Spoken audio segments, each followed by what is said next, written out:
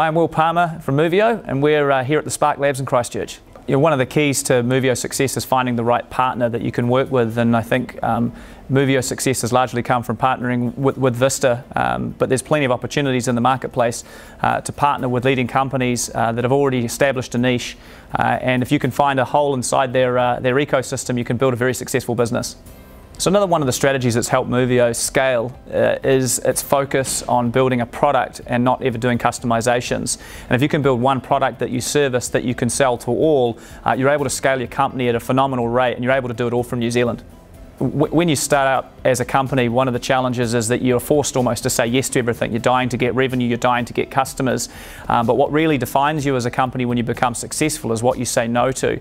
Uh, and we had an opportunity to work with you know New Zealand's favourite airline, and uh, and it was a huge chance, but it was going to take us away from our niche, which was the movie business. And when we focused on that niche, our business took off.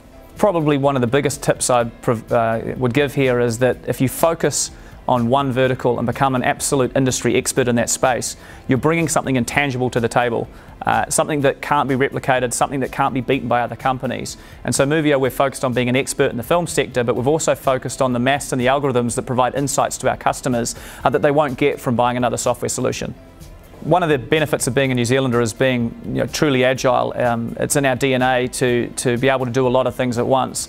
Uh, and I think one of the success points that I'd raise is that we've been able to change direction, albeit slightly all the time, and follow the opportunity as the market has shifted. So I think if New Zealand companies focus on staying agile without losing sight of their vision, they've got a big advantage over other countries. When Movio went to market, we went out with a, what we'd call a, an alpha product or a minimum viable product, um, and it was just enough to get the customer to be able to use it. Uh, it had two big advantages. Uh, one of them was that we were able to get real feedback from the market and evolve our product accordingly. And secondly, it gave our customers an opportunity to feel like they owned a piece of Movio along the way. I'm Will Palmer from Movio here at Spark Labs in Christchurch. An incredible event. Get yourself involved, sign up, register. Uh, Spark Labs is an amazing way to get inspired.